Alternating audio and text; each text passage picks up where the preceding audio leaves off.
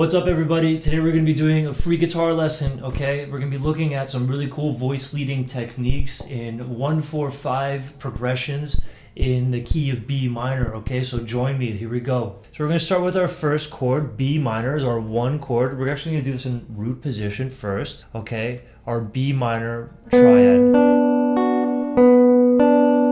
We're going to go to E minor, okay, for our four chord, which is going to be in second inversion. And then for our five chord, F sharp is going to be in first inversion. We're going to be right over here. Back to our one chord, B minor in root position. This gives some really, really smooth voice leading. Let's listen to it more in context.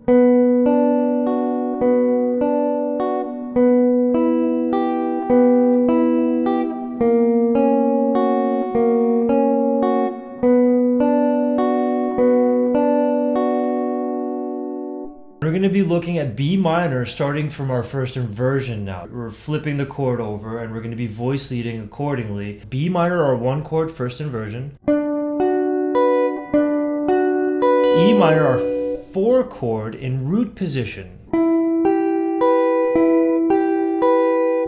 Okay, now our five chord F sharp in second inversion. Back to B minor in first inversion, our one chord. All right, let's listen to it in context.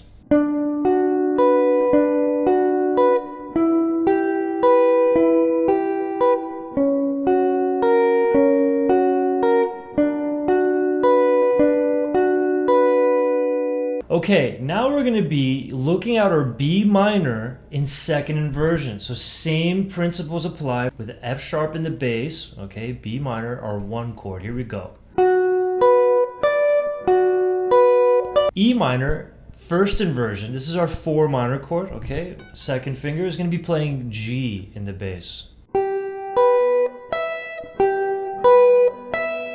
Okay, F sharp, our five chord, is going to be again with F sharp in the bass over here, but we're going to do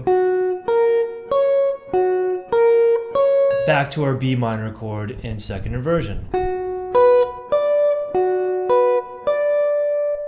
Let's listen to it in context.